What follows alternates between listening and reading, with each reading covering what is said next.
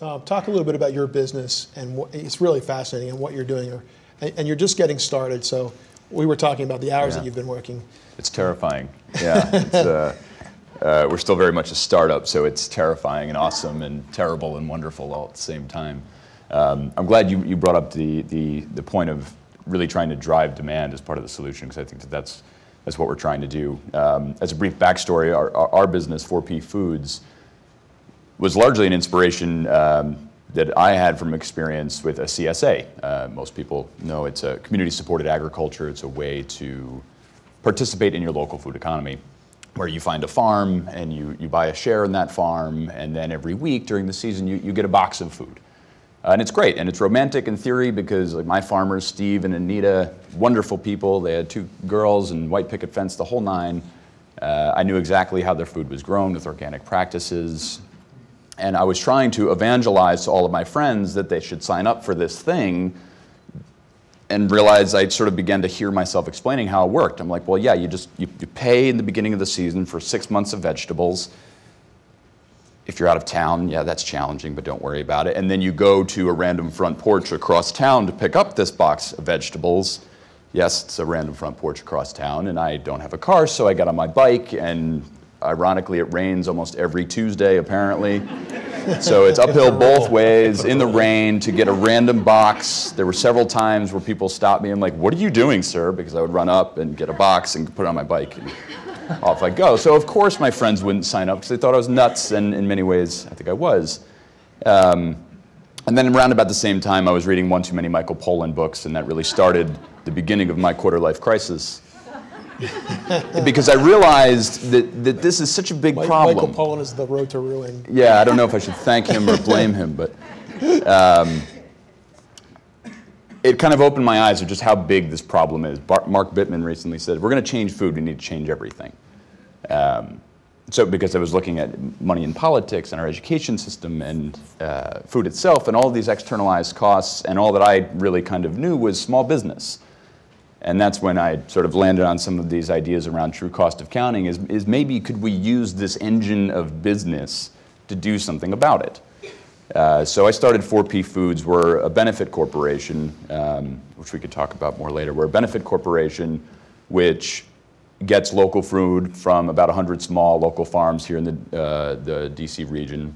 And we deliver it to our customers every week. We deliver it to them at their house or at their office so they don't have to take that fatal bike ride. Um, we let them skip anytime they want, so if they're traveling, uh, that's fine. Uh, and they also don't get corn hangover, which I had every August because we just got lots of corn all August. And I love corn, but you can only do so much with corn. So by having 100 farms, we have a lot of diversity. So in theory, we're, we're, we're making local food, local sustainable organic food, as easy, if not easier, uh, than going to the grocery store. Uh, but it's not cheap. So we target a certain demographic of people that can afford that. But as a benefit corporation, we then are able to take a percentage of all the food that we, we bring to our customers, to our members, we set it aside and we donate it to our uh, partner Martha's Table here in the city, and they work with low-income communities. So if our members who can afford this $35 bag of, of sexy kale and beautiful raspberries and shiitake mushrooms, the kids in their after-school program are eating kale and raspberries and shiitake mushrooms and learn about where it came from and why is it good, and this is extremely nutrient dense. Uh, and our members of our community that we're building, the people that can afford it, they're happy because not only is it the health for them, uh, but they know that a percentage of all of their food dollars, they're voting with their fork quite effectively, are going to support their low-income neighbors. So in theory, uh, and thankfully, it's, it's actually working. We're growing every month. We're adding more members than we're losing. We're adding more farm partners. We're now about to do uh, meats and eggs and hopefully seafood. So it's, uh, it is creating demand, but it's also creating a community of people who really care about their role in the greater picture. Let me ask you a quick question. Sure. Uh, and I know your answer because you wouldn't be doing it otherwise, but um, the interest in local food, is this a trend or is this something that might stick around for a long time? Um, I mortgaged my house and dumped my life savings into a local food, vegetable company. So if it is indeed a trend, I've got a problem. But uh, no, it, it, it, can't be a trend because if, if it is a trend, if, if it comes and goes, then all of these problems that we've been talking about for the last day and a half are only going to get worse.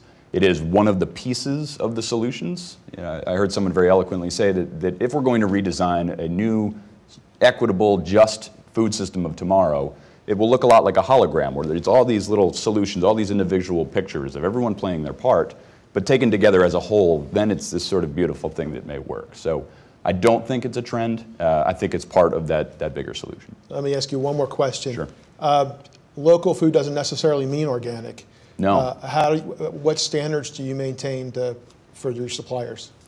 Great question, and we get it almost all the time. Uh, is your food organic? Um, it's really hard, particularly here in the Mid-Atlantic, uh, because of the scale of the farms that are here, uh, because of the lack of infrastructure, because a lot of it is really high humidity. Uh, there's very few organic farms in the area. Certified organic.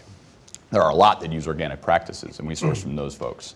Uh, but we don't say that it's certified organic. However, we're out there visiting with the farms, making sure that they use integrated pest management, uh, making sure they're using no sprays ideally, low sprays if they have to, and are they moving in that right direction? And that's really sort of the big thing for us is are they trying to be good stewards of the land? Can we help them move in that direction?